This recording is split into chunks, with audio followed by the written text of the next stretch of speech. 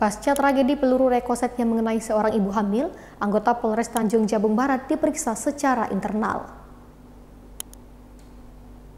Internal Polres Anggota Satres Narkoba Polres Tanjung Jabung Barat diperiksa oleh tim internal Polres tersebut akibat kejadian selongsong peluru panas anggota tersebut rekoset yang memakan korban.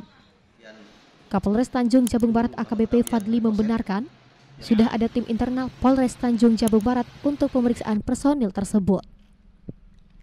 Menurut Kapolres akan ada sanksi yang diberikan kepada personil sesuai dengan kesalahan yang terjadi.